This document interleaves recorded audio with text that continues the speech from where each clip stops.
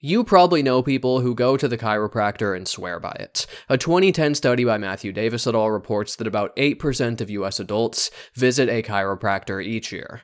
Presumably, for this many people to be going there, they'd have to derive some benefit from it, right? Well, that's the question we'll explore in this video. What exactly do chiropractors do? The Cleveland Clinic explains, quote, A licensed chiropractor uses special instruments or their hands to manipulate joints in the body. This process is also called spinal or joint manipulation. It can help reduce pain and correct the body's alignment and overall physical function, ends quotes. It sounds straightforward enough, and many different medical websites describe chiropractic care in a very similar, matter of fact, neutral manner. When you actually take a close look at its theoretical underpinnings, however, you find that it simply doesn't deserve the respect that it's given. To really understand this point, let's begin by looking at the origins of chiropractic care. As Stephen Barrett writes on chirobase.org, quote, chiropractic theory is rooted in the notions of Daniel David Palmer, a grocer and magnetic healer who postulated that the basic cause of of disease was interference with the body's nerve supply. Approximately 100 years ago, he concluded that a subluxated or misaligned vertebrae is the cause of 95% of all diseases. The other 5% is caused by displaced joints other than those of the vertebral column. He proclaimed that subluxations interfered with the body's expression of innate intelligence, the soul, spirit, or spark of life that controlled the healing process. He proposed to remedy the gamut of disease by manipulating or adjusting the problem areas, ends quotes. This has pseudoscience written all over it. Notice first the viewing of chiropractic care as a virtual cure-all.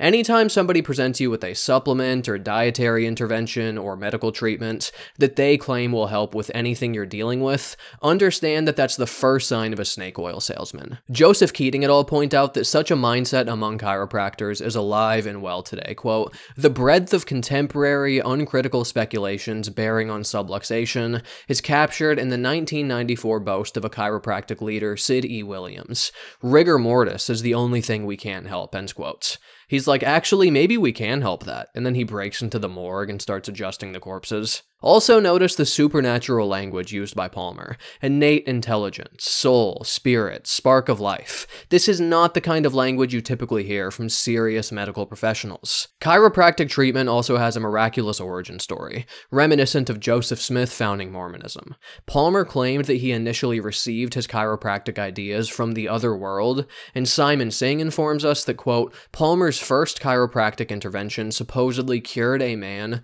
who had been profoundly deaf for 17 years, ends quotes. I think Palmer was simply confused about what happened here. My guess is that after the visit, he sent a letter to the patient explaining what his goal was, and the deaf guy wrote back, like, that's the dumbest shit I've ever heard. Palmer's like, I've cured him. You also don't have to be an expert to understand the absurdity of claiming that virtually all disease is caused by misalignments within the spine. Many diseases are caused by bacteria or viruses. Some are caused by fungal infections. Others are parasitic in nature. Some are the result of genes being underexpressed, overexpressed, or not at all expressed. Others are caused by poor dietary habits or nutritional deficits. Only by having the most embarrassing ignorance of human illness could a person seriously claim that the root cause of disease is spinal misalignments. Edzard Ernst explains that, quote, early chiropractic pamphlets hardly mention back pain or neck pain, but assert that chiropractic could address ailments such as insanity, sexual dysfunction, measles, and influenza. Really, my influenza is caused by vertebral misalignments? Do I need my spine adjusted, or do you need your head examined? J.D. Haynes points out for Skeptic magazine that the core underlying belief of chiropractors has been experimentally rejected. Quote, chiropractic philosophy maintains that disease or abnormal function is caused by interference with nerve transmission due to pressure, strain, or tension upon the spinal nerves due to deviation or subluxation within the vertebral column. In the first experimental study of the basis of chiropractic subluxation theory, Dr. Edmund S. Crelin, then an anatomy professor at Yale University, demonstrated that chiropractic theory was erroneous. Using dissected spines with ligaments attached and the spinal nerves exposed, He used a drill press to bend and twist the spine. Using an ohm meter to record any contact between wired spinal nerves and the foraminal openings, he found that vertebrae could not be displaced enough to stretch or impinge a spinal nerve unless the force was great enough to break the spine. Crelin concluded this experimental study demonstrates conclusively that the subluxation of a vertebrae, as defined by chiropractic, the exertion of pressure on a spinal nerve which by interfering with the planned expression of innate intelligence produces pathology, does not occur. End quote. Perhaps we could forgive Palmer given that he formulated these ideas over a hundred years ago, but the sad reality is that many chiropractors today continue to believe this obvious nonsense. Modern chiropractors can be divided into two main camps, straights and mixers. Ernst explains as follows in a paper of his, quote, The straights religiously adhere to D.D. Palmer's notions of the innate intelligence and view subluxation as the sole cause and manipulation as the sole cure of all human disease. They do not mix any non chiropractic techniques into their therapeutic repertoire, dismiss physical examination beyond searching for subluxations, and think medical diagnosis is irrelevant for chiropractic. The mixers are somewhat more open to science and conventional medicine, use treatments other than spinal manipulation, and tend to see chiropractors as back pain specialists. Father and son Palmer warned that the mixers were polluting and diluting the sacred teachings of chiropractic. Many chiropractors agreed that the mixers were bringing discredit to the chiropractic. The straights are now in the minority, but nevertheless exert an important influence. Quotes. What percent of chiropractors still hold to these original teachings? The stats I could find on this question are very alarming. Keating et al. report the following, quote, a 1994 sample of Canadian chiropractors was intriguing. 68% agreed with the notion that most diseases are caused by spinal misalignment, end quotes. Although the statistic is about 25 years old, let's not beat around the bush here. If you visit a chiropractor, there's a good chance you're talking to a flat out ignoramus. Also noteworthy is the high rate of vaccine denialism among chiropractors. As Ernst continues, quote, a US survey was aimed at identifying chiropractors' attitudes toward immunization. A random sample, 1% of all US chiropractors, was provided with a choice of policy statements. One third of the sample agreed with the statements that there is no scientific proof that immunization prevents disease, that it causes more disease than it prevents, and that contracting an infectious disease is safer than immunization, end quotes. Look on the bright side, though. If you take your chiropractor's advice and you end up with measles, at least he claims that he can cure you of it. Now, let's be clear, I'm not saying we should go around calling people morons for going to the chiropractor. We should call them retards instead, it's a much more insulting term. No, plenty of people do go to the chiropractor and they claim to feel much better afterwards. You can even watch videos on YouTube of people receiving chiropractic adjustments and telling us that it really improved their symptoms. Look, if you feel that it's helpful, I'm not going to try to physically restrain you from going there. But I would encourage you to consider a few things. One is the possibility that the relief you feel is coming from the placebo effect. It's well established that if you give people sugar pills or sham treatments of one kind or another, many of them will report an improvement in their condition in large part because they expect the treatment to have an effect. If you're going into your chiropractor visit expecting to receive legitimate medical care and expecting to feel better afterwards, for some percent of us, this belief alone could be what's making you feel better. And it's not necessarily just the belief that's doing this. The act of sitting down with a chiropractor and talking about your health problems problems with the person who genuinely cares about your well being could also help make you feel better. On top of that, chiropractors take a notoriously hands on approach, and it's well known that such physical contact triggers the release of various hormones that could also make you feel better. And they're not just touching you, but they're cracking your spine in all kinds of different ways. The unusual sensations you'd feel as a result of this are going to add an additional element of excitement and pain reducing adrenaline to the procedure. Also, consider that if you go there for some sort of pain you're experiencing and report feeling better the next day, maybe the pain would have gone away on its own, regardless of the treatment you received. Did the chiropractor help to alleviate the pain, or is this a regression to the mean that you're mistakenly giving him credit for? The presence of these many confounding variables is why personal anecdotes alone aren't good enough, and why clinical trials are needed to determine what's actually causing the reported improvements. What about the YouTube videos of chiropractic care? The first thing you'll notice is that there are a lot of these, and millions of people watch these videos. Spinal subluxation gets destroyed by chiropractor, 2.6 million views. Back pain rect compilation, number 19, 20 trillion views. Then I post a super detailed video thoroughly explaining why this is bullshit, and like 800 people watch it. You know what? Fuck this shit. I'm just gonna start posting chiropractor videos instead. Alright, Mr. Daniels, let's go ahead and adjust that neck here. Oh, I fucking killed him. Regarding the many videos of people being adjusted, filming the procedure only adds further confounding layers on top of everything else I mentioned. Here's just one example of many where we get real-time feedback on how the patient feels afterwards. Exactly. How do you feel? Yeah, I don't, I don't feel the tension right here. You don't feel the tension? No, it's the same. So a little bit different than before when Mhm. you first came in, Yeah. right? Good, good.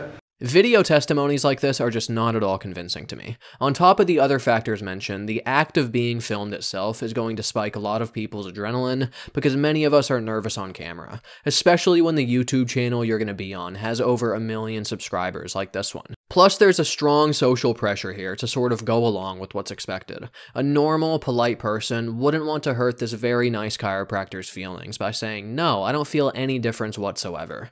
This didn't help me out one bit, and this was a complete waste of my time. Then there's the added pressure to give the audience what they want by assenting to these leading questions, the expected and hoped for answers to which are very obvious. Even if you did have the rare person who flatly said on camera, this did nothing for me, it's their YouTube channel, so they could simply decide not to upload such a video. If an online seller on Amazon, for example, could personally decide which reviews to approve, my guess is they would only make public the four or five star reviews so as to make their product look better. And let's say the patient genuinely did feel better immediately after the procedure. It's quite possible that the effects would be very short lived, and once he drives home and the excitement wears off, he might feel exactly how he did beforehand. So, since personal anecdotes aren't reliable, let's then turn now to the scientific studies on the question. There's actually been a lot of research done on chiropractic care, so we're going to do our best to reach an overall conclusion on the question by looking at systematic reviews of systematic reviews.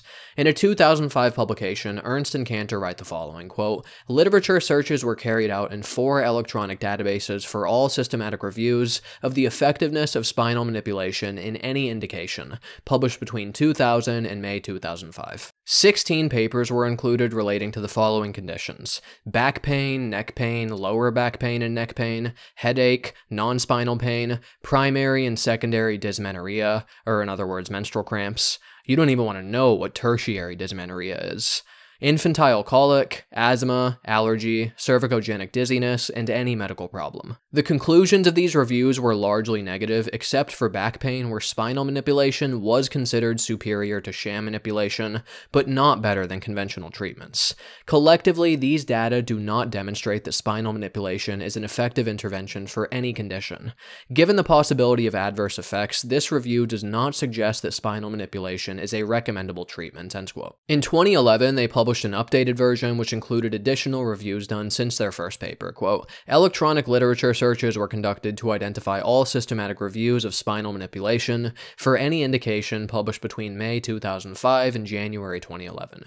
45 reviews met the inclusion criteria. The conclusions drawn from most reviews were frequently cautious or negative. For instance, for low back pain, three reviews arrived at positive conclusions, one arrived at equivocal conclusions, and three arrived at negative conclusions. For asthma, three reviews arrived at negative conclusions and one arrived at equivocal conclusions. For headaches, two reached positive conclusions, whereas three reached negative conclusions.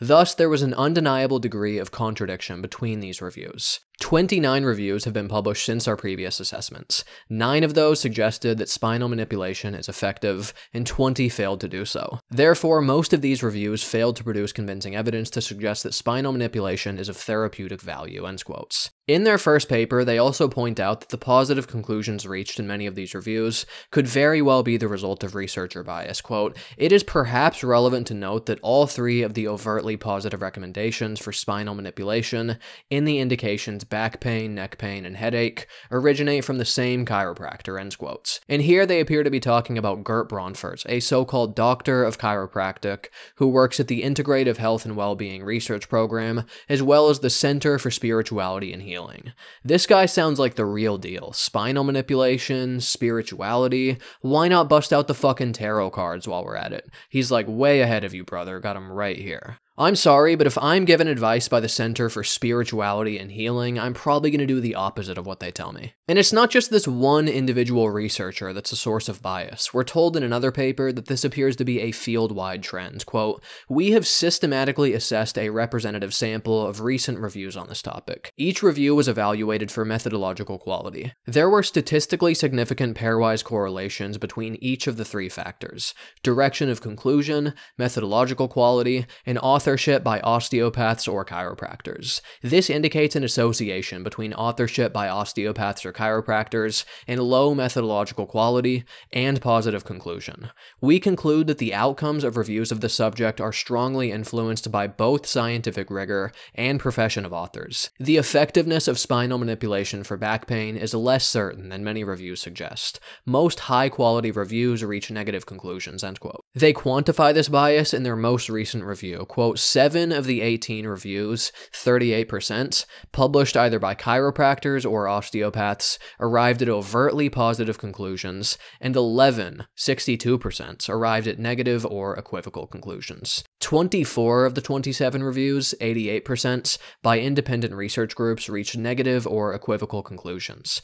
Only 3, 12%, arrived at positive conclusions, end quote. So 12% of reviews by independent researchers had positive conclusions versus 38% of those by chiropractors or osteopaths. I'm reminded of that quote by Upton Sinclair where he said, It is difficult to get a man to understand something when his salary depends on his not understanding it. Of course, the chiropractor is going to be more likely to conclude that chiropractic care is effective. His entire life is organized around that very idea. I wouldn't exactly call them the most impartial researchers. What's he going to do? Say, yeah, it's bullshit, now time to get right back to it? Very unlikely.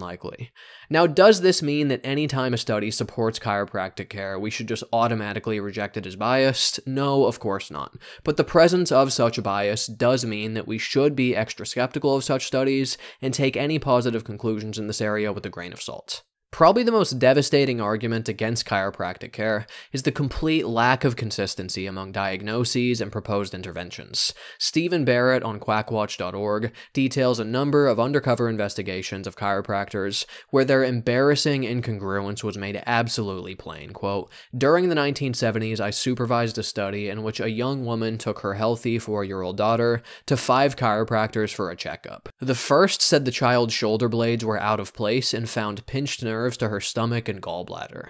The second said that the child's pelvis was twisted. The third said one hip was elevated. The fourth predicted bad periods and rough childbirth if her shorter left leg was not treated. He was also like, if you don't get this fixed now, your daughter's gonna grow up to be a whore. No, that part I made up. The fifth not only found hip and neck problems, but also adjusted them without bothering to ask permission, end quote. Not only are their diagnoses wildly inconsistent, but sometimes they flatly contradict each other. As Barrett continues, quote, Brown also reported that one chiropractor told him his left leg was shorter than his right, and another chiropractor told him just the opposite. During 1989, William M. London visited 23 chiropractors in Ohio and Florida. Three identified subluxations at differing locations, three said his left leg was shorter than his right leg, and two said his right leg was shorter shorter than his left, ends quote. By the way, this correcting of allegedly uneven legs is one of the oldest conman tricks in the book. James Randi and the Faith Healers describes how pastors and televangelists will astonish their credulous audiences by claiming to correct discrepant leg lengths using nothing but the power of Christ. How is this trick done? Quote, as the subject sits, Grant merely places his hand beneath the feet, twisting his hand so that one shoe is pulled slightly off the foot and the other shoe is pressed tightly against the sole. By reversing the twist, the farther shoe is pushed on against that sole, and the two shoes, as well as the two feet, are now seen to be the same length. End quote. Here we see chiropractor Greg Johnson assess his patient's leg length at the beginning of their exam, and he tells us that the left leg is about a half inch shorter than the right. His left leg short by about half inch. After performing a few adjustments, he takes another look and claims that the legs are now even. Legs are now even. It's a miracle that anyone actually falls for this shit. I had a chiropractor try this on me one time and I was like, fuck you, dude. He was like, ah, looks like your left middle finger is longer than the right one. I can fix that right up. For the low, low fee of $999, of course. Perhaps it actually is the case that certain people's legs are uneven and that chiropractors correct this. All they claim to be doing, after all, is making biomechanical adjustments, so their assertions are much more plausible than those of the sweaty pastor who's ranting about Jesus. And since I'm not there to physically measure the legs in every such demonstration, I can't say with certainty that all chiropractors who do this are deceiving others or perhaps even deceiving themselves. But if they're actually measuring and correcting something real, why would different chiropractors contradict each other and disagree about which leg is longer than the other? Dr. Johnson, at another point in this video, breathlessly explains what it is that he's doing and what impact he claims that it has on the body. So I adjust all the joints of the body so I can get cavitation of all the synovial joints. It sends a neurological proprioceptive bombardment into the cerebellum, which it then regurgitates and sends out efferent information to the rest of your body's kinesthetic movements. Either that was the most brilliant thing I've ever heard, or this guy has no idea what he's talking about. At first, I was really confused, like, why is this guy talking so fast? But then it hit me. He's probably got a bunch of FedEx deliveries waiting in his van outside. Also noteworthy are some of the absurd rituals that these chiropractors engage in. As J.D. Haynes writes, quote, chiropractors also differ about how to find subluxations and where they are located. In addition to seeing them on x-ray films, chiropractors say they can find them by feeling the spine with their hand, measuring skin temperature near the spine with an instrument, concluding that one of the patient's legs is functionally longer than the other, studying the shadows produced by a device that projects a beam of light onto the patient's patient's back, weighing the patient on special scales, and or detecting nerve irritation with the device, end quote. More from Barrett, quote, another chiropractor was noted to diagnose patients by passing a cylindrical instrument over the patient's back and marking any spots over which the instrument makes a squeaking noise. Another examined patient's eyes for markings he claimed would indicate what diseases were found within the body, a practice called iridology. Another told the reporter his ears were acting as antenna for nerve energy that had become congested in his diaphragm. One chiropractor placed a potato and an egg on the reporter's chest to test the strength of his arms, held a magnet over his thymus glands, concluded that nutrient deficiencies were present, and sold him four bottles of glandular substances for 47.50 end quote. I don't know about you guys, but whenever my doctor pulls out the potatoes and magnets, a wave of relief just washes over me. Chiropractors sure do love to use a variety of tools and gadgets to assist them. Maybe they'll tap your arm with this stick thing. Maybe they'll bust out the hammer and peg to adjust a gigantic bodybuilder. Talk about getting chiseled, by the way. Maybe they'll use the egg beater thing, or the vibrating sander thing, or the massage gun. You really never know what to expect from them. Apparently, there are even chiropractors who will give your horse an adjustment. Yes, when his back is hurting from carrying your fat ass around all day, why not head on down to the Options for Animals College of Animal Chiropractic? This is a real place that real people go to spend their money at. A lot of this stuff is pretty ridiculous and it's fun to laugh at these people, but we also need to stop to consider the harm that chiropractors cause. One is simply wasting people's time and money. Time spent getting your back adjusted and getting potatoes put on your chest is time that could be spent visiting a specialist that could actually help you with your medical problems. Now, of course, it's not like these things are mutually exclusive. You could visit a chiropractor and see a traditional doctor as well. But what about the people who forego conventional treatment and opt for the chiropractor? Chiropractor instead. Some merely add the chiropractor visits into their standard medical care, whereas for others, it gets in the way of medical care. The billions spent each year on chiropractors could simply be put to better use. I'm not naive enough to argue that in the absence of chiropractors, every dollar that would have been spent on them would instead be donated to medical charities and organizations working towards curing and reducing diseases. Still, though, almost anything you do with your money would be more productive than giving it to these people. May I I recommend supporting my video creation on Patreon. Many who visit the chiropractor will also experience unpleasant side effects and occasionally walk away injured or even killed. Well, it's not like they walk away killed, but you get the idea.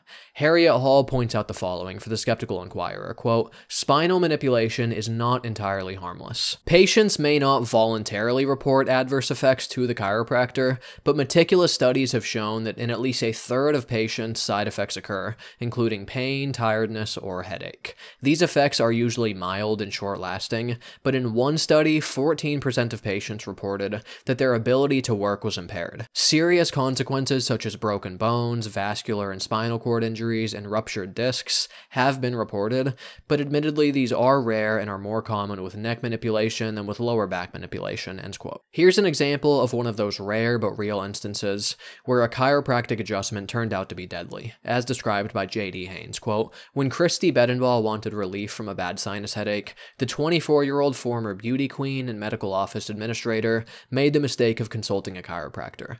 An autopsy performed on Kristi revealed that the manipulation of her neck had split the inner walls of both vertebral arteries, resulting in a fatal stroke. The chiropractor's violent twisting of her neck caused the torn arterial walls to balloon and block the blood supply to the posterior portion of her brain. Studies confirmed that the blood clots formed on the two days she received her neck adjustments, end quotes. And if you just watch what chiropractors do during their adjustments, the only thing I find surprising is that serious injuries don't occur more often. Look at some of the violent twisting contortions that they subject people to. This is exactly what I would do if I was trying to break this guy's neck. There was a comment on this video that said, I cracked my wife's neck. She is so relaxed, she's still sleeping after four days. There was another one that said, When I stretch your upper trap, does that make you feel like your upper trap is being stretched? Why, yes, it does. Where's my money? And it's not just random people who go to the chiropractor either. Many professional athletes and fighters go there as well.